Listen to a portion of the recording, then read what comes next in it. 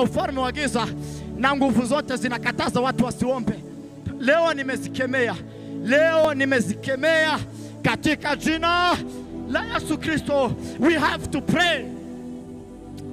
rakazo papela zontope papela. Baba, wewe ni mwema kila wakati.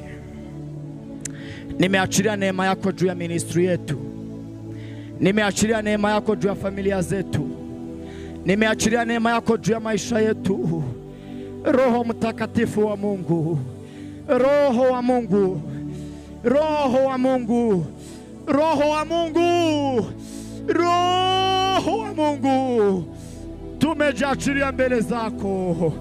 Fanya kazi kwa maisha yetu.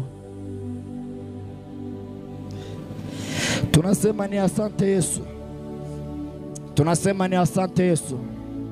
Sifa zote ni zako Baba na utukufu wote ni wako Yesu.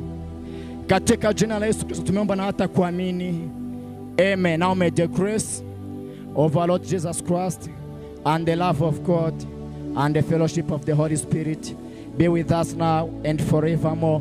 Amen, amen. Muwe na wakati mwema.